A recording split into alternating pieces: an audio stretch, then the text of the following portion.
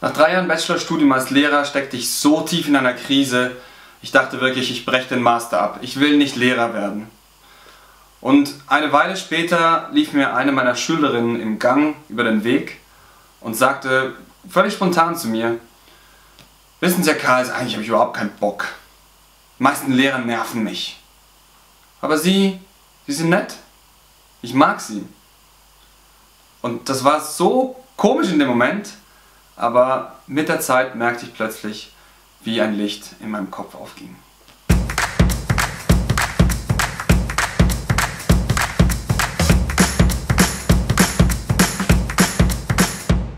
Hallo liebe Lehrerinnen und Lehrer, das was ich gerade vorhin im Intro erzählt habe, habe ich schon ein, zwei Mal erzählt.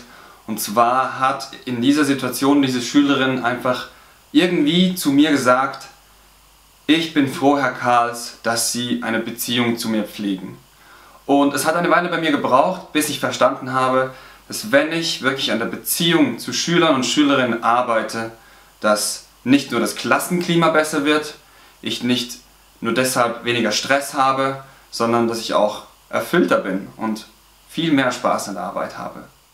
Und für alle, die sagen, aber ich habe doch gar nicht Zeit, um Beziehungen zu meinen Schülern zu pflegen, ich bin mit, der, mit dem Stoff, Stoff beschäftigt oder ich habe so viele Klassen und so weiter ja, es braucht nicht immer so viel, um Beziehungen zu pflegen.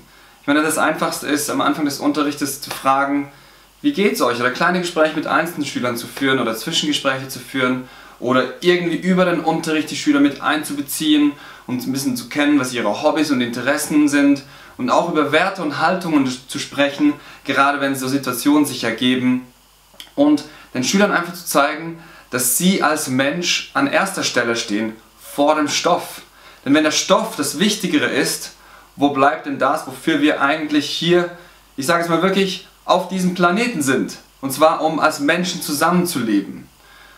Das ist plump, aber es ist einfach so. Alles, was wir tun, egal ob du Vater bist, Mutter bist, Schüler bist, äh, ob du Angestellter bist, selbstständig bist, ich sage jetzt mal, die 99% der Menschen tun das, was sie im Leben tun, um schlussendlich Beziehungen zu ihren Mitmenschen pflegen zu können. Sei es Familie, sei es die besten Freunde oder die Schüler oder Mitarbeiter an der Schule. Und ich bin wirklich der Meinung, das Bildungssystem, da gibt es keine absoluten Wahrheiten, außer bei diesem Punkt. Beziehung zu pflegen zu den Menschen, die dich täglich umgeben. Und Beziehung zu pflegen heißt einfach, sich dafür zu interessieren, wer der Mensch ist, was er tut, ähm, was ihm oder ihr wichtig ist und auch nicht immer darüber zu urteilen, wenn jemand eine andere Meinung hat. Auch mal eine andere Meinung akzeptieren zu können und nicht einfach zu verurteilen, nur weil jemand etwas im ersten Moment völlig Abstruses sagt, sondern einfach auch mal nachzufragen, warum denkst du so oder wie kommst du zu diesem Schluss? Und ich war jetzt diese Woche gerade im Skilager mit fünf anderen Lehrpersonen oder Leitern und es war so eine schöne Woche, nicht nur, weil wir einfach Skifahren konnten und motivierte Schüler hatten, weil es ein freiwilliges Lager war. Nein, es war deshalb so schön, weil einfach all die Menschen, die dort waren, haben sich darum gekümmert, dass die Beziehung stimmt. Also nicht, unter den, nicht nur unter den Lehrern und Leitern, sondern auch unter den Schülern und auch Schüler und Lehrer. Natürlich, wir sind eine Autorität. Wir sind die Personen, die die Zeugnisse schreiben aber wir sollten nicht unsere Macht ausspielen, sondern wir, so, wir sollten unsere Rolle sehen als, wie helfe ich jungen Menschen dazu, weiterzukommen im Leben. Und wenn ich da bin, um sie zu unterstützen und ihnen Halt zu geben, auch mal festzuhalten, wenn es sein muss, wenn sie sich daneben benehmen oder so, dann pflege ich die Beziehung zu den Schülern und die, die Schüler bauen ein Vertrauen zu mir auf, dass ich im Prinzip alles machen kann mit ihnen, was ich möchte. Wenn ich sie dazu anstiften will, irgendwas völlig äh, Komplexes oder eigentlich Langweiliges zu lernen, weil ich aber ein Vertrauen und ein Beziehungsverhältnis zu ihnen aufgebaut habe, werden sie sagen, ja okay, der Herr Karl, der wird sich schon irgendwas überlegt haben, also machen wir einfach mal mit. Und das Skilager war einfach deshalb so schön, weil wir auch als Leiterteam, als Lehrerteam einfach wirklich auf einer Wellenlänge waren und auch daran gearbeitet haben, dass dass wir zusammen wissen, welche Re Regeln gelten im Lager, was ist uns wichtig und so weiter und wir auch einfach an unseren Freundschaften arbeiten. Und ich weiß, nicht in jedem Lehrerteam gibt es Leute, mit denen man Zeit verbringen möchte oder nicht so viel. Und ich denke auch, es reicht zum Teil, wenn man, sagen wir mal, aus 30, 40 Leuten im Lehrerteam, man eine Person hat, mit der man sich richtig gut versteht und diese Beziehung richtig gut pflegt. Ich hatte schon in einer anderen Schule den jüngeren Hausmeister, ähm, das war mein bester Freund dort und mit ihm bin ich Mittagessen gegangen, der war nicht mal Lehrer, aber einfach da mal ein bisschen über andere Dinge als immer nur Schule zu quatschen, das hat so gut getan und auch mal diesen Perspektivenwechsel zu kriegen von jemand, der anders denkt über eine bestimmte Situation, selbst wenn er in einem anderen Beruf ist, aber auch von einer anderen Lehrperson, wird dich vielleicht auch mal eine andere Idee bringen, wenn du gestresst bist oder über etwas nachdenkst und nicht weißt, wie du weiterkommen sollst. Um, um das Ganze ein bisschen äh, wissenschaftlich zu belegen, möchte ich euch noch diese zwei Bücher hier zeigen. Das eine ist von Simon Sinek, Leaders Eat Last. Auf Deutsch heißt es Chefs essen zuletzt. Und es bedeutet einfach, dass die Leaders sich zuerst darum kümmern, dass die Mitmenschen bedient sind, dass ihre Grundbedürfnisse gedeckt sind.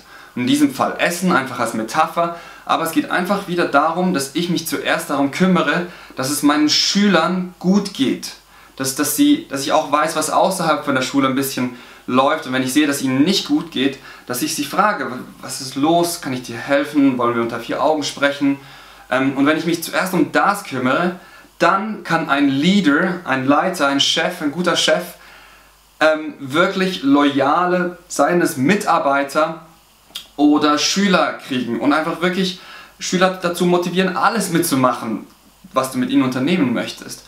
Und das wird in diesem Buch von Simon Sinek, der sehr, sehr große Unternehmen berät, ähm, sehr schön aufgezeigt, aber auch mit Beispielen aus der American Air Force, wie da einfach der Zusammenhalt von Teams und von Mitarbeitern so stark ist, dass gerade wenn Zeiten schwierig werden, dass die Leute dann zusammenhalten und wirklich als Team arbeiten. Und das ist nicht nur gut für Stress, den man bei der Arbeit hat, sondern es ist auch wirklich gut einfach für die Erfüllung, weil, wie gesagt, wir sind da, um menschliche Beziehungen pflegen zu können. Und das Ganze wird auch unterstützt durch Glückshormone und dieses Buch Habits of a Happy Brain von PhD, also Dr. Loretta Graziano, Bräuning, weiß ich genau, der Link wird in der Videobeschreibung sein, die beschreibt die wichtigsten Glückshormone und davon ist eins das Oxytocin. Oxytocin ist ein, ein Hormon, das im Gehirn ausgeschüttet wird, wenn der Mensch merkt, dass ähm, menschliche Beziehungen gepflegt werden, dass er, dass ein Mensch selbst menschliche Beziehungen pflegt und dafür sorgt, dass es anderen Menschen, seinen Mitmenschen gut geht, aber auch, dass man umsorgt wird und andere Leute zu dir schauen. Gerade in Familien, in Paarbeziehungen, aber auch als Lehrer, als jemand, der sich um seine Schäfchen eigentlich kümmern sollte, wenn die Schüler merken, dass ihr Wohlbefinden dir als Lehrperson wichtig ist, dann wird nicht nur bei ihnen Oxytocin ausgeschüttet, sondern auch bei dir. Und das ist einfach für wirklich alles gut. Das ist quasi die eierlegende Wollmilchsau, Beziehungen zu Menschen zu pflegen. Und natürlich kommen dann auch noch Dopamin, Serotonin und so weiter dazu. Das wird alles in diesem Buch erklärt und aufgezeigt, dass all diese Hormone letztendlich entscheidend sind für das Überleben von uns als Spezies. Also das Gehirn schüttet diese Hormone aufgrund verschiedener Gegebenheiten ähm, aus, um schlussendlich das Überleben zu sichern. Und wir Menschen können unser Überleben ja auch nur sichern, wenn wir als, ähm, sei es Paare oder Gruppen, zusammenleben. Und sonst würden wir wahrscheinlich ziemlich schnell aussterben. Das ist einfach eine Funktion, die wir im Gehirn haben, die so uns vorantreibt, Beziehungen pflegen zu wollen. Okay, das wäre es für heute. Holt euch ein gutes Buch wie eins dieser beiden, Simon Sinek oder Habits, Habits of a Happy Brain. Und am Schluss möchte ich noch einmal einfach John Lennon zitieren. All you need is love. Es ist einfach wahr. Danke, wenn ihr die Bücherlinks in den Videobeschreibungen benutzt, dann könnt ihr mich ein bisschen unterstützen, weil ich halt erhalte eine winzige Provision für jedes Buch, das ihr bestellt oder auch andere Dinge von Amazon, Sportkleider, was auch immer, wenn ihr sowieso schon den Einkauf geplant habt und es kostet euch auch nicht mehr. Das wäre es für heute. Ich wünsche euch einen guten nächsten Wochenstart und wir sehen uns bald wieder. Macht's gut. Ciao.